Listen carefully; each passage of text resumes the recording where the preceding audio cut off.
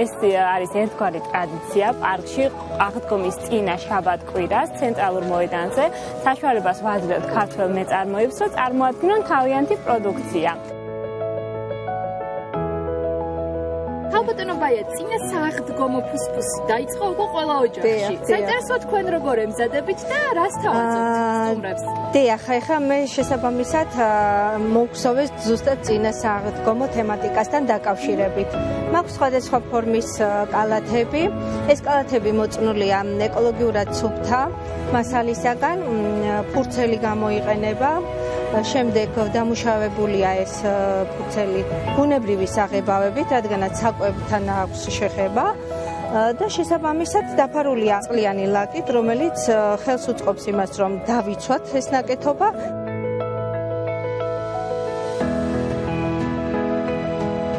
მაქვს აღდგომის უფრა ნატურალური პროდუქტებით, კარაქზე დამზადებული და სახლის სოფლის კვერცხი, მრავალფეროვანი არჩევანი ჩემს მიერ გაკეთებული. ჩემთვის დიდი ტრადიციაა.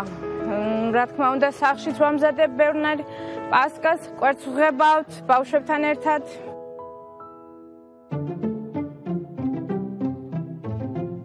ისე გამოიყურება თქვენი შოკოლადები, რომ აი ჭამაც კი დაგენანება ადამიანს. მე ვამზადებ ხელნაკეთ ბელგიურ შოკოლადებს, ფორმებით და ყალიბები რა თქმა უნდა მაქვს და იმის მიხედვით, თემატიკების მიხედვით ვამზადებ ამ ყველაფერს.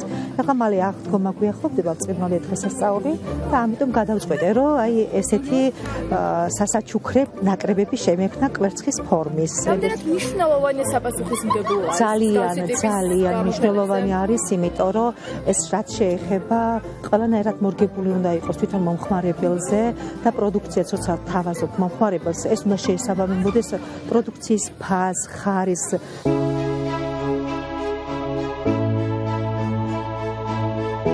კრიტერიუმებს უნდა აკმაყოფილებდნენ მონაწილეები, რომელთაც აქვს სურვილი, რომ აი შემდეგ და შემდეგ ღონისძიებებში მიიღონ უკვე მონაწილეობა და მოხვდნენ აქ.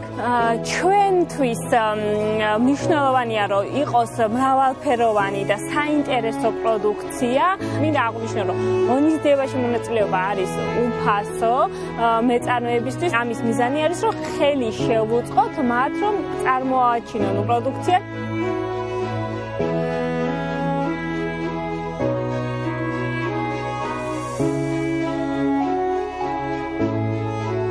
ლევან, როგორც ვთქვი, პირველად ღებულობ მსგავსი ტიპის გამოფენა გაყიდვაზე მონაწილეობას და წარმოდგენილი გაქვს საკმაოდ განსხვავებული და ესეთი განსაკუთრებული ნივთები და მოდი ვუთხრეთ ჩვენს ტელემაყურებელსაც, რა პროდუქციას აწარმოებთ.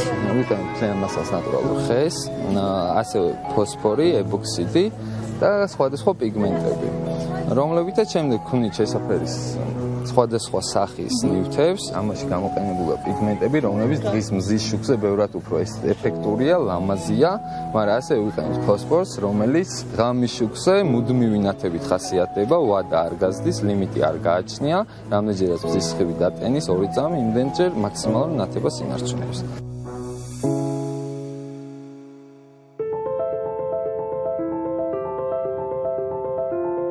გინებთ? აბა ნახოთ. მირთვით ახსენეთ და ცხარია ესე ცხარია. ეს არის საშუალო გემოზე დაყენებული ცოცხალი მწვანილებით. პლუს ნიგოზი. საოცარი გემო აქვს მაგრამ გემრიელად მირთვით.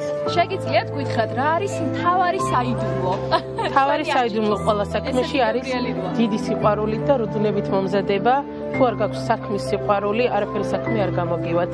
და მთავარია პირში კარგი გემო. რომ ადამიანი ზედმეტად არ ავამწაროთ და არ დავამლაშოთ.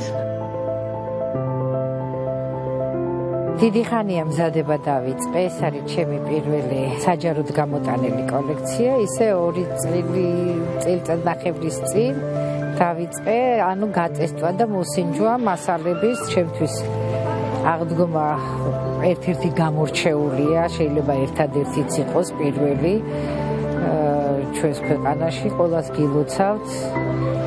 მისი მადლი ფარავდეს ჩვენს კურთხეულ საქართველოს.